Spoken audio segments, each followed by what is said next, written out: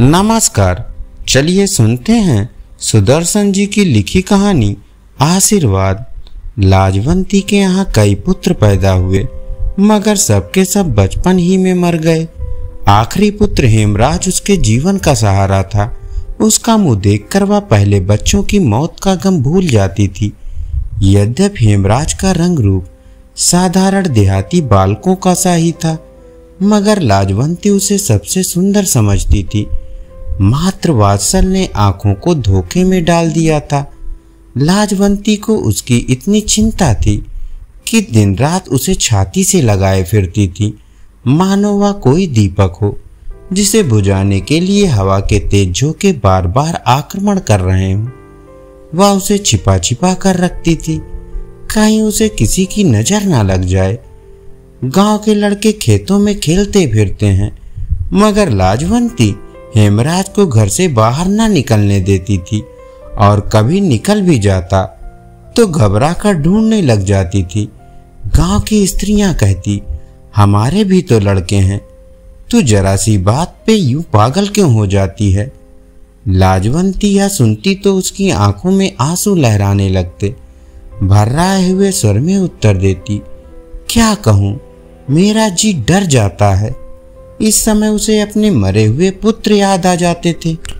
मगर इतना सावधान रहने पर भी हेमराज बुरी नज़र से न बच सका।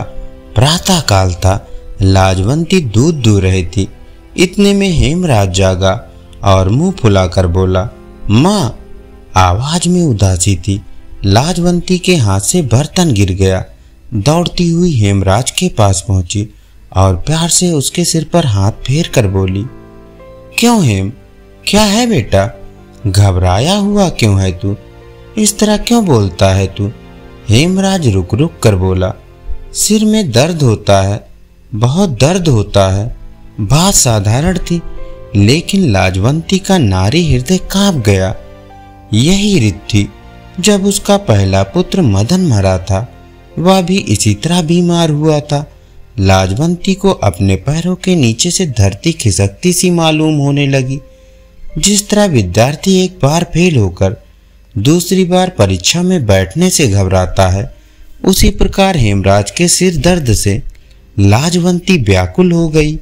गाँव में दुर्गादास वैद्य अच्छे अनुभवी वैद्य थे। लोग उन्हें लुकमान समझते थे। सैकड़ों रोगी उनके हाथों से स्वस्थ होते थे। आसपास के गाँव में भी उनका बड़ा नाम था। लाजवंती उड़ती हुई उनके पास पहुँची। बैजी बैठे हुए एक पुराना साप्ताहिक समाचार पत्र पढ़ रहे थे।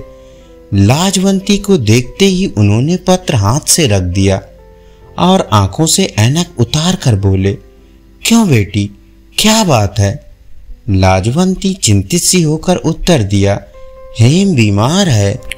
वैद्य जी ने सहानुभूत के साथ पूछा, कब से? आज ही से? कहता है सिर में दर्द है। बुखार तो नहीं है। मालूम तो नहीं होता। आप चलकर देख लेते तो अच्छा होता। वैद्य जी का मनोरथ सिद्ध हो गया। उन्होंने जल्दी से कपड़े बदले और लाजवंती के साथ हो लिया। जाकर देखा तो हेमराज बुखार में बेसुध पड़ा था। वैद्य जी ने नाड़ी देखी, माथे पर हाथ रखा और फिर कहा, चिंता की कोई बात नहीं है। दवा दिए देता हूँ, बुखार उतर जाएगा। लाजवंती के डूबे हुए हृदय को सहारा मिल गया। उसने दुपट्टे के आंचल से अट्ठन्नी निकाली और वैद्य जी को भेंट कर दी। वैद्य जी ने मुँह से नहीं नहीं कहा, लेकिन हाथों ने मुँह का साथ न दिया। उन्होंने पैसे ले लिए। कई दिन बीत गए। हेमराज का बुखार नहीं उतरा। वैद्य ने कई दवाइयाँ बदली, परंतु किसी ने अपना असर नहीं दिखाया। लाजवंती की चिंता बढ़ने लगी। वह रात रात भर उसके सिराने बैठी रहती थी। लोग आते और धीरज देकर चले जाते थे, किंतु लाजवंती का मन उनकी बातों की ओर न दौड़ता था। वह डरी डरी रहती और अपने मन की पूरी शक्ति से हेम की सेवा में लगी रहती थी। एक दिन उसने वैद्य से पूछा, हकीम जी, आखिर क्या बात है? जो ये बुखार उतरने का नाम नहीं लेता, वैद्य जी ने उत्तर दिया, मियादी बुखार है, लाजवंती चौक पड़ी। उसने तड़प कर पूछा, मियादी बुखार? क्या?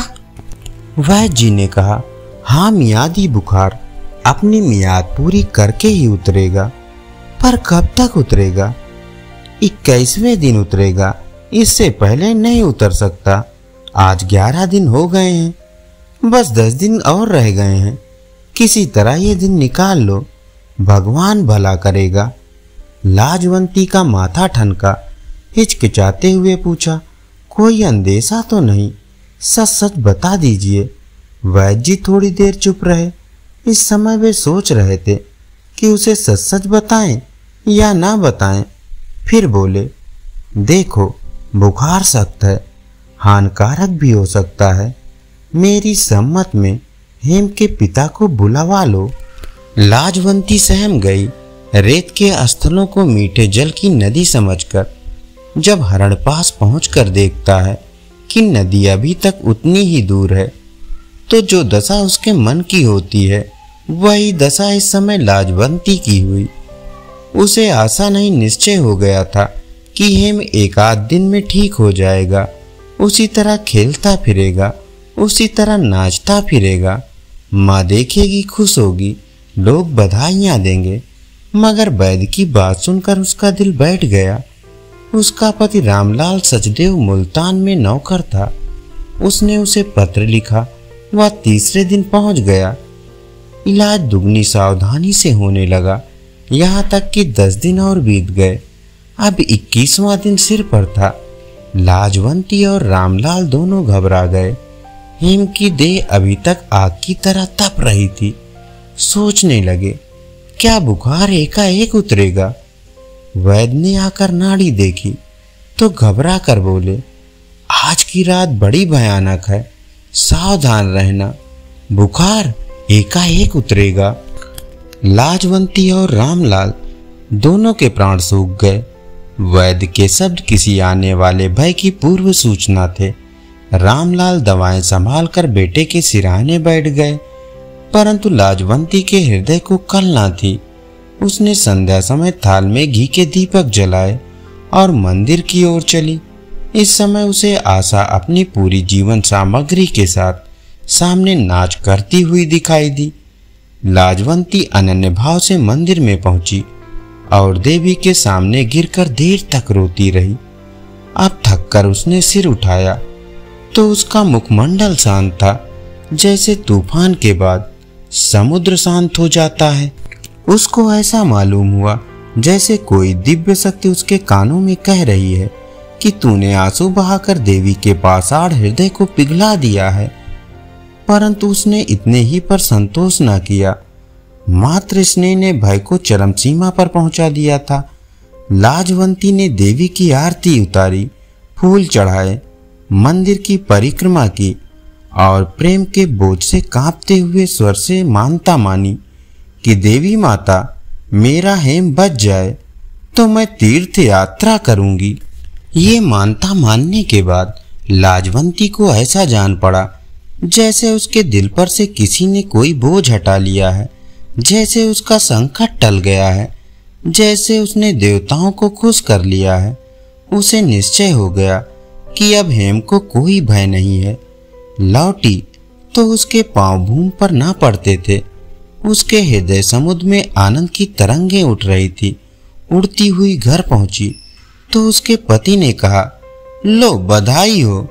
तुम्हारा परिश्रम सफल होने को है। बुखार धीरे धीरे उतर रहा है। लाजवंती के मुख पर प्रसन्नता थी और नेत्रों में आशा की झलक झूमती हुई बोली अब हेम को कोई डर नहीं है। मैं तीर्थ यात्रा की मानता मान आई हूँ। रामलाल ने तीर्थ यात्रा के खर्च का अनुमान किया तो हृदय बैठ गया। परंतु पुत्र स्नेह ने इस चिंता को देर तक न ठहरने दिया। उसने बादलों से निकलते हुए चंद्रमा के समान मुस्कुरा कर उत्तर दिया अच्छा किया, रुपए का क्या है? हाथ की मैल है, आता है, चला जाता है। परमेश्वर ने एक लाल दिया है, वह जीता रहे, यही हमारी दौलत है। लाजवंती ने स्वामी को सुला दिया और आप रात भर जागती रही। उसके हृदय पर ब्रह्मानंद की मस्ती छा रही थी। प्रभात हुआ तो हेम का बुखार उतर गया था। लाजवंती के मुखमंडल से प्रसन्नता टपक रही थी। जैसे संध्या के समय गवों के अस्तनों से दूध की बूंदें टपकने लगती हैं। वैद्य जी ने आकर देखा तो उनका मुखमंडल भी चमक उठा। अभिमान से सिर उठाकर बोले, अब कोई चिंता नहीं, तुम्हारा बच्चा बच गया है। लाजवंती ने हेम की देह पर हाथ फेरते हुए कहा, क्या से क्या हो गया है? वैद्य जी ने लाजवंती की ओर देखा और रामलाल से बोले, यह सब इसी के परिश्रम का फल है। लाजवंती ने उत्तर दिया देवी माता की कृपा है अथवा आपकी दवा के प्रभाव का फल है। मैंने क्या किया है जो मेरे परिश्रम का फल है? मैं तुम्हें दूसरी सावित्री समझता हूँ। उसने मरे हुए पति को जिलाया था। तुमने पुत्र को मृत्यु के मुँह से निकाला है। तुम यह दिन रात एक ना कर देती तो हेम का बचना सर्वथा असंभव था। ये सब तुम्हारी मेहनतों का फल है। भगवान प्रसन्न हो गया। बच्चा बचा नहीं, दूसरी बार पैदा हुआ है। रामलाल के ओंठों पर मुस्कुराहट थी, आँखों में चमक। इसके सातवें दिन वह अपनी नौकरी पर चले गए और कहते गए कि तीर्थ यात्रा की तैयारी करो।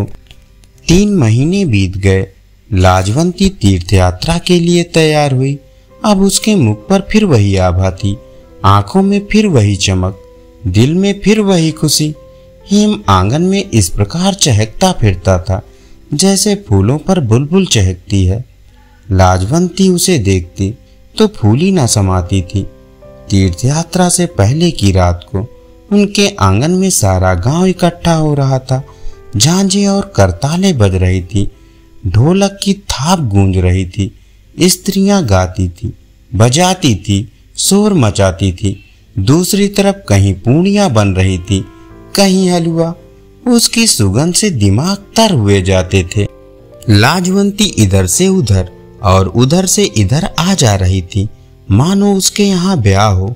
एक और निचिंते साधु सुल्पे के दम लगाकर गाँव की हवा को शुद्ध कर रहे थे। उनकी ओर गाँव के लोग इस तरह देखते थे, जैसे किसान तहसीलदार की ओर देखते हैं। आँखों में श्रद्धा भाव के स्थान पर भय और आतंक की मात्रा कहीं अधिक थी। लाजवंती से कोई मैदा माँगता था, कोई घी, कोई कहता था, हलवाई खांड के लिए चिल्ला रहा है, कोई पूछता था, अमचूर का बर्तन कहाँ है? कोई और समय होता तो लाजवंती घबरा जाती, पर इस समय उसके मुख पर जरा घबराहट ना थी। सोचती थी, कैसा सौभाग्य है, जो यादिन मिला, आज घबराहट कैसी? परंतु सारा गाँव प्रसन्न हो। यह बात न थी, वहीं स्त्रियों में बैठी हुई एक बूढ़ी स्त्री असीम दुख में डूबी हुई थी। वह लाजवंती की पड़ोसिन हरो थी। अत्यंत दुख के कारण उसके कंठ से आवाज़ न निकलती थी। नगर होता तो वो इस उत्सव में कभी सम्मिलित न होती। मगर गाँव की बात थी, न आती तो उंगलियाँ उठने लगती। आनंदमय हास परिहास के बीच में उसका मस्तिष्क दुख और शोक के कारण ऐसे खोल रहा था, जैसे ठंडे समुद्र में गर्म जल का स्रोत उबल रहा हो। वह स्रोत बाकी समुद्र से कितना परे, कितना अलग होता है। इसी तरह रात के चार बज गए। लोग खा पी कर आराम करने लगे। जो बचा रहा, वह गरीबों में बांट दिया गया।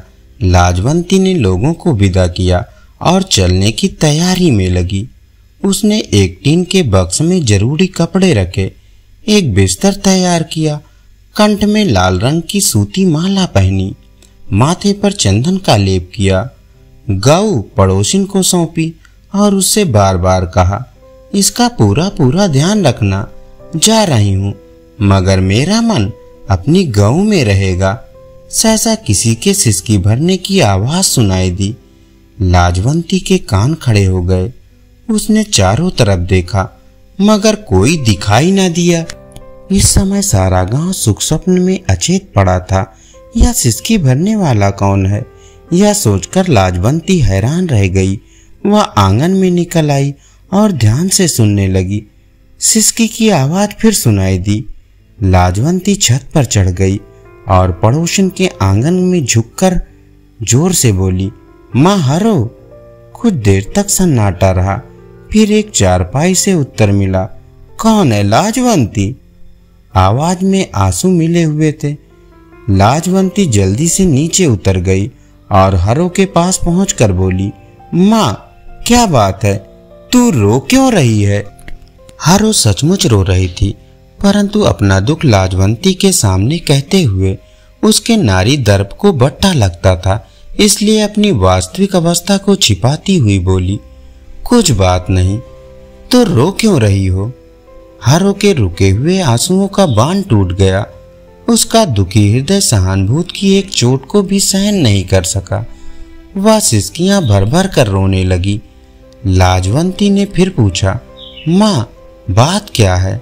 जो तू इस समय रो रही है, मैं तेरी पड़ोसिन हूँ, मुझसे ना छुपा। हरो ने कुछ उत्तर न दिया, वह सोच रही थी कि इसे बताऊँ या ना बताऊँ। प्रभात हो चला था कुछ कुछ प्रकाश निकल आया था। लाजवंती चलने के लिए आतुर हो रही थी, मगर हरो को क्या दुख है, या जाने बिना चले जाना उसके लिए कठिन था। उसने तीसरी बार फिर पूछा माँ, बता दो ना, तुम्हें क्या दुख है? हारो ने दुखी होकर कहा, क्या तुम उसे दूर कर दोगी? हो सका तो दूर कर दूँगी। ये असंभव है बेटी। संसार में असंभव कोई बात नहीं, भगवान सब कुछ कर सकता है। हारो थोड़ी देर तक चुप रही, फिर धीरे से बोली, बेटी का दुख खा रहा है रात रात भर रोती रहती हूँ, जाने या नाव कैसे पार लगेगी? ये क्यों? उसके ब्याह का खर्च तो तुम्हारे जेठ ने देना मंजूर कर लिया है। ऐसे भाग होते तो रोना काहे का था? लाजवंती ने अकुला कर पूछा तो क्या यह झूठ है?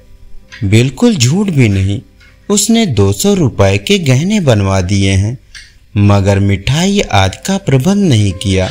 अब चिंता यह है कि बारात आएगी तो उसके सामने क्या धरूँगी? बाराती मिठाई मांगेंगे पूरियाँ मांगेंगे, हलवा मांगेंगे। यहाँ सूखे सत्तू खिलाने की भी हिम्मत नहीं।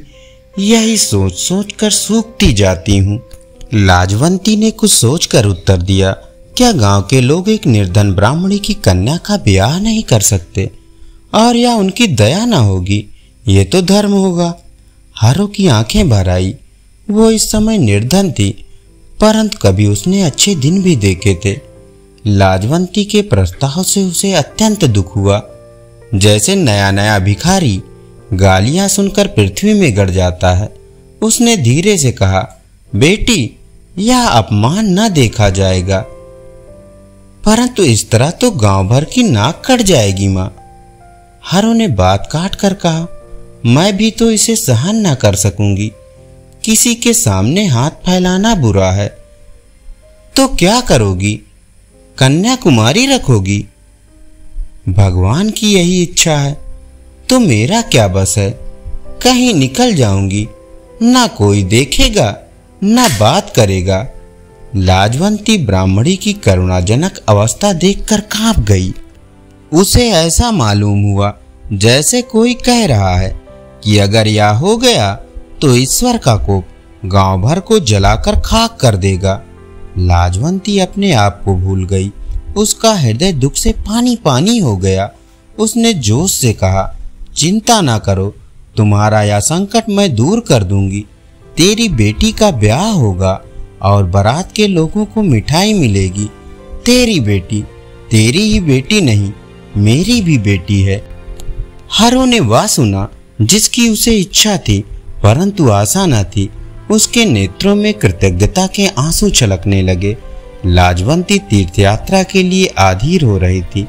वह सोचती थी, हरिद्वार, मथुरा, वृंदावन के मंदिरों को देखकर हृदय कली की तरह खिल जाएगा। मगर जो आनंद उसे इस समय प्राप्त हुआ, वह उस कल्पित आनंद की अपेक्षा कहीं अधिक बढ़ चढ़ कर था। वह दौड़ती हुई अपने घर गई। और संदूक से दो सौ रुपये लाकर हरों के सामने ढेर कर दिए। या रुपए जमा करते समय वह प्रसन्न हुई थी, पर उन्हें देते समय उससे भी अधिक प्रसन्न हुई। जो सुख त्याग में है, वह ग्रहण में कहा? लाजवंती के तीर्थ यात्रा का विचार छोड़ देने पर सारे गाँव में आग सी लग गई। लोग कहते थे, लाजवंती ने बहुत बुरा किया, देवी माता का क्रोध उसे नष्ट कर देगा। स्त्रियाँ कहती थी कि सेकी पर रात को रत जगह किया था? सात सत्तर रुपए खर्च हो गए। अब घर में बैठ गई है, नहीं जाना था। तो इस दिखावे की क्या आवश्यकता थी? कोई कहती थी, देवी देवताओं के साथ यहाँ हँसी मज़ाक अच्छा नहीं। ले देकर एक लड़का है, उसकी खैर मनाए। जो बूढ़ी थी, वे माला की गुर्रियाँ फेरते फेरते बोली, कलयुग का पहरा है जो ना हो जाए, सो थोड़ा। ऐसा तो आज तक नहीं सुना था आज तक सुनते थे। आदमी आदमी से बात करके बदल जाता है। अब तो देवताओं से बात करके भी बदलने लगे। पर असली भेद का किसी को भी पता ना था। धीरे धीरे यह बातें लाजवंती के कानों तक भी जा पहुँची। पहले तो उसने उनकी कुछ परवाह नहीं की। एक कान से सुना, दूसरे कान से निकाल दिया।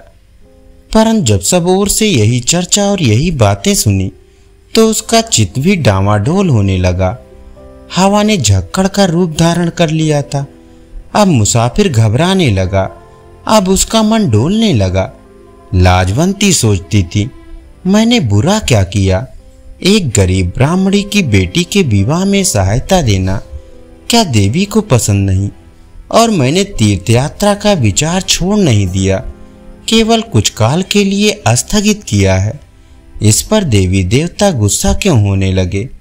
मगर दूसरा विचार उठता कि मैंने सचमुच भूल की, देवी देवताओं की भेंट किसी आदमी को देना अपराध नहीं। तो और क्या है? यह विचार आते ही उसका कलेजा काँप जाता और हेम के विषय में भयानक संशय उत्पन्न होने लग जाते। संसार बुराइयों पर पछताता है। लाजवंती भलाई पर पछता रही थी। दिन का चैन उड़ गया, रात की नींद हराम हो गई, उसे वहाम हो गया कि अब हेम की कुशल नहीं, उसे खेलता देखती तो उसके हृदय पर कटारियाँ चल जाती थी। बुरे बुरे विचार आते थे, जी डरता था, हिम्मत कांपती थी। इसी तरह कई दिन बीत गए, गाँव में चहल पहल दिखाई देने लगी हलवाई की दुकान पर मिठाइयाँ तैयार होने लगी। गाँव की कुमारी कन्याओं के हाथों में मेहंदी रची हुई थी। रात के बारह बारह बजे तक हरों की छत पर ढोलक बजती रहती और स्त्रियों के देहाती गीतों से सारा गाँव गूंजता रहता। एक वह दिन था जब लाजवंती प्रसन्न थी और हरो दुखी थी। आज हरो के यहाँ चहल पहल थी, मगर लाजवंती के यहाँ उदासी बरस रही थी। समय के फेर ने काया पलट कर दी थी। रात का समय था। मंदिर में घंटे बज रहे थे। लाजवंती ने पूजा का थाल उठाया और पूजा के लिए चली, मगर दरवाजे पर पहुंचकर पाँव रुक गए। उसे ऐसा प्रतीत हुआ, मानो देवी की मूर्ति उसे दंड देने के लिए नेत्रलाल किए खड़ी है। लाजवंती का कलेजा धड़कने लगा। वह डरकर दरवाजे पर बैठ गई और रोने लगी। जिस प्रकार दुर्बल विद्यार्थी को परीक्षा के कमरे में जाने का साहस नहीं होता, पाँव आगे रखता है, दिल पीछे रह जाता है, सहसा उसे प्रतीत हुआ, जैसे कोई प्रार्थना कर रहा है, लाजवंती का रोम रोम कान बन गया, उसे निश्चय हो गया कि इस प्रार्थना का अवश्य उसके साथ संबंध है, और वह गलती पर ना थी। कोई कह रहा था, देवी माता, उसे सदा सुहागिन बनाओ। उसके बेटे को चिरंजीव रखो। उसने एक असहाय ब्राह्मणी का मान रखा है। तुम उसको इसका फल दो। उसके बेटे और पति का बाल भी बांका ना हो। यह एक बूढ़ी ब्राह्मणी की प्रार्थना है। इसे सुनो और स्वीकार करो। जिस तरह उसने मेरा कलेजा ठंडा किया है, उसी तरह उसका भी कलेजा ठंडा रखो। ये ब्राह्मणी हरो थी लाजवंती के रोम रोम में हर्ष की लहर दौड़ गई। उसके सारे संदेह धुएँ के बादलों की तरह तितर बितर हो गए। वह रोते हुए आगे बढ़ी और बूढ़ी ब्राह्मणी के पैरों से लिपट गई। रात को स्वप्न में वह फिर देवी सम्मुख थी। एकाएक देवी की मूर्ति ने अपने सिंहासन से नीचे उतरकर लाजवंती को गले से लगा लिया और कहा, तूने एक गरीब की सेवा की है, अर्थात मेरी सेवा की है। मैं तुझसे खुश हूँ। तेरे काम से खुश हूँ। लोग तीर्थ यात्रा करते हैं। तूने महातीर्थ यात्रा की है। सेवा तीर्थ यात्रा से बढ़कर है। लाजवंती की आँख खुल गई। इस समय उसे ऐसी प्रसन्नता प्राप्त हुई, जैसे आज तक कभी न हुई थी। आज उसने पूजा का रहस्य पा लिया था। धन्यवाद। अभी आप सुन रहे थे सुदर्शन जी की लिखी कहानी, आशीर्वाद।